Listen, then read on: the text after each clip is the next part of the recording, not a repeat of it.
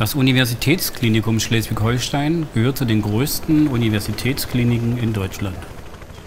14.000 Mitarbeiterinnen und Mitarbeiter sorgen an unseren Standorten in Kiel und Lübeck täglich für einen reibungslosen Betrieb und die bestmögliche medizinische Versorgung der Patienten.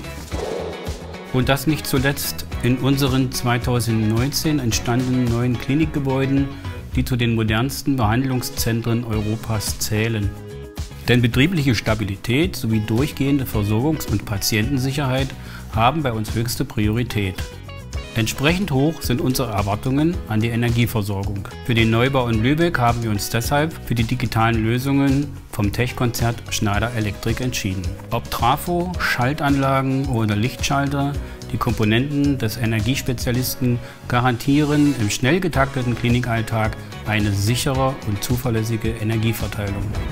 Im gesamten Gebäude setzen wir zudem auf antibakterielle Oberflächen, die das Infektionsrisiko durch Krankheitserreger bei der Bedienung von Schaltern und Steckdosen minimieren.